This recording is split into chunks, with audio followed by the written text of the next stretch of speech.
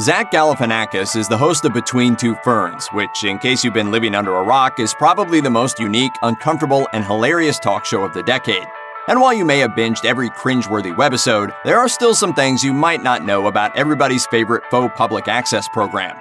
Long before he hosted IFC's surreal, partially scripted talk show Comedy Bang Bang, LA comedy scene veteran Scott Aukerman sold a pilot for a late night sketch comedy series to Fox called The Right Now Show. Aukerman told Splitsider, I just knew I wanted to work with Zach on something, so we had money and I just said, hey, whatever you want to do, let's do. Galifianakis came back, according to Aukerman, with a pretty much fully formed idea for a segment on the pilot, including a title and its look. Galifianakis told Entertainment Weekly, it also kind of came out of this celebrity worship culture that we have somehow adopted in our American psyche, and it was just a knee jerk reaction to that. You know, just kind of making fun of the sycophantic interviewers that kiss the Hollywood machine.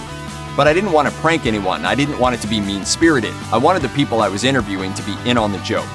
Fox ultimately didn't pick up the potential SNL competitor The Right Now show, but Funny or Die was into it. Well, just the Between Two Ferns part, and thus entertainment was changed forever. Most episodes of Between Two Ferns are a delight for audience, host, and guest. Zach Galifianakis mildly insults guests or their work, or alludes to some painful detail from their personal life.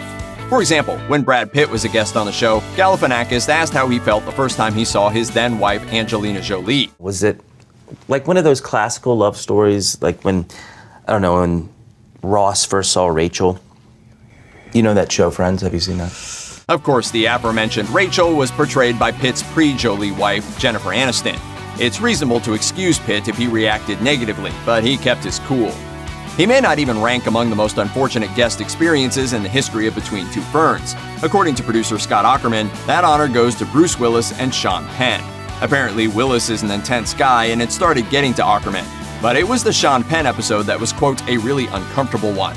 Aukerman recalled, when he threatens to knock Zach out, things got really tense in the studio. I haven't seen Sean Penn since then, but quite honestly, I'm afraid to ever see him again. I'll knock you the f out right in your chair.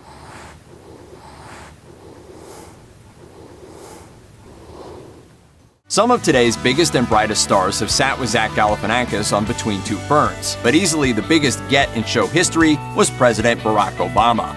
Producer Scott Aukerman told Insider that he and his staff had put it out there that they wanted to interview Obama because they thought, quote, it was a really stupid, fun idea.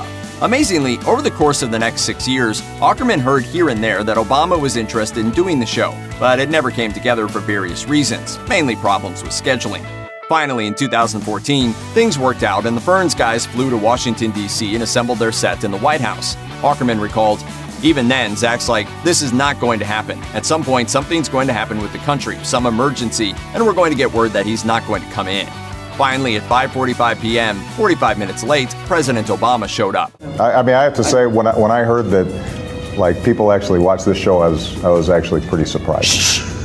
So, why did the most powerful man in the free world agree to appear on a web show? He wanted to use the platform to promote the healthcare exchanges, the online arm of his Obamacare legislation that helped people find insurance. It worked, too. 11 million people watched the episode on the first day it went live, and traffic to healthcare.gov jumped by 40%. In spite of its simplicity, or probably because of it, Between Two Ferns possesses one of the most memorable talk show sets of all time emphasizing the idea that it's a humble, low budget web series meant to look like an even lower budgeted public access presentation. Between Two Ferns employs little more than a black backdrop, a couple of chairs, a table, and of course, exactly two ferns to flank hosts and guests. That gives producers some flexibility with where the show is actually taped. When Galifianakis told producer Scott Aukerman about his idea for the project, he told Entertainment Weekly that he said, quote, Give me two ferns and an actor and we'll make it look like a cable access show. That's literally what they did. Galifianakis said some episodes have shot in broom closets and other non glamorous locations. Apparently, the Natalie Portman and Jon Hamm episodes were filmed in a shed, while the very first official episode of Between Two Ferns, in which Galifianakis interviewed Arrested Development star Michael Cera, was shot entirely in a basement. Terrestrially broadcast TV fests like The Tonight Show and Jimmy Kimmel Live tend to favor entertainers. Actors, actresses, rock stars, and models show up five nights a week to flog their latest blockbuster movies, album releases, and signature perfumes.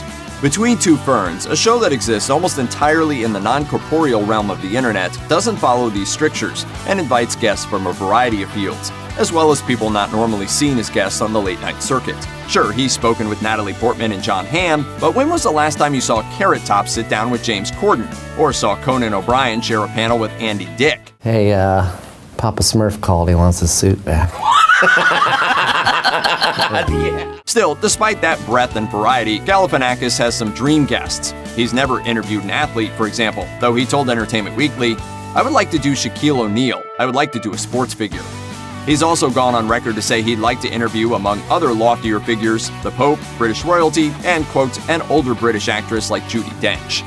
Zach Galifianakis has hosted several extremely powerful guests on Between Two Ferns, including Barack Obama, Hillary Clinton, and Tila Tequila. And although he'd love to talk to the Pope or the Queen someday, there's one influential world leader that probably won't be sitting for an awkward interview next to a houseplant anytime soon steak magnate and American President Donald Trump. After Galifianakis' interview with Hillary Clinton became a huge viral hit in the lead up to the 2016 presidential election, a reporter from the Los Angeles Times asked Galifianakis if he would give equal time to then candidate Trump. Galifianakis' reply, Doing it the other way doesn't interest me. He's the kind of guy who likes attention, bad attention or good attention. So you're dealing with a psychosis there that's a little weird. No word on whether or not he ever had plans to interview Jill Stein.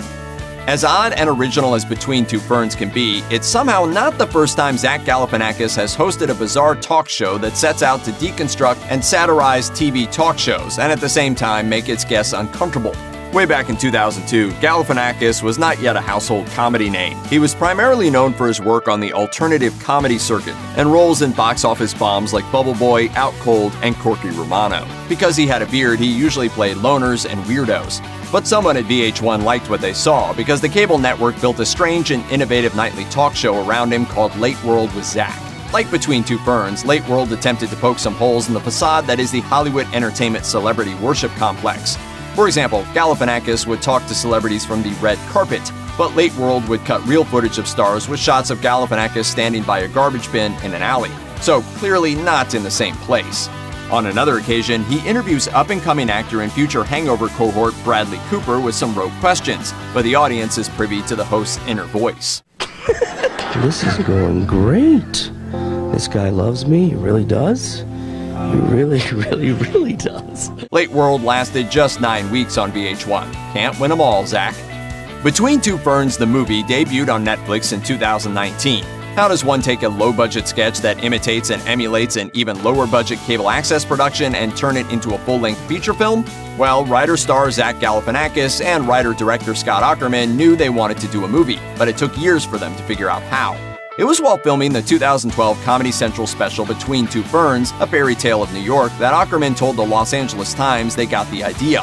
He dished, It was the first time we'd done something with Burns that wasn't just the five minute video, and we had so much fun, we said, if we can ever think of an idea that is that low concept enough that we could just set up on the fly and make something really quickly, we would take the opportunity. Now all they needed was a story, which proved tough.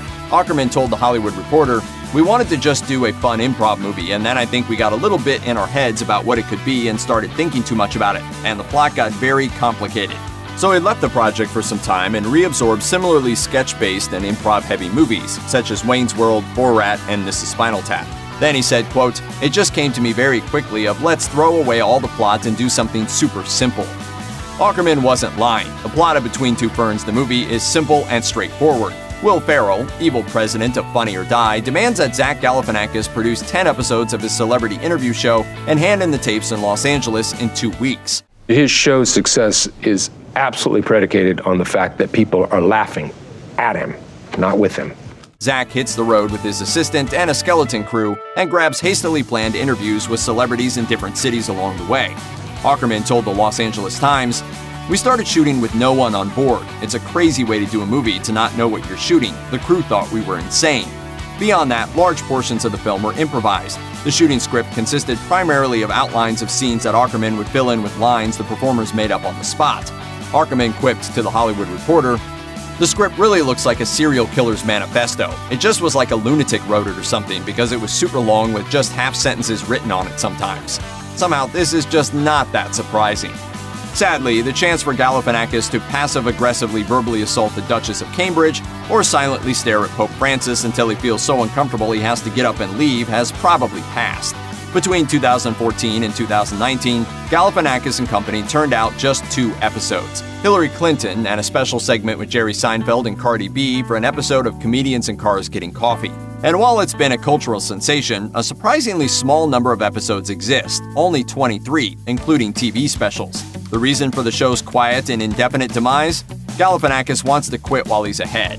While promoting his TV series Baskets in 2016, Galifianakis told the Los Angeles Times that Between Two Ferns had, quote, kind of run its course a bit. He and collaborator Scott Aukerman still had the juice in them for the 2019 Netflix feature Between Two Ferns the movie, which probably represents the end of the franchise. Galifianakis told USA Today, There's a shelf life for something like this. We live in meaner times now. I don't know if there's an appetite for something like this out there. He added that he thinks he and Aukerman will put the show to bed after the movie. Check out one of our newest videos right here. Plus, even more grunge videos about your favorite stuff are coming soon. Subscribe to our YouTube channel and hit the bell so you don't miss a single one.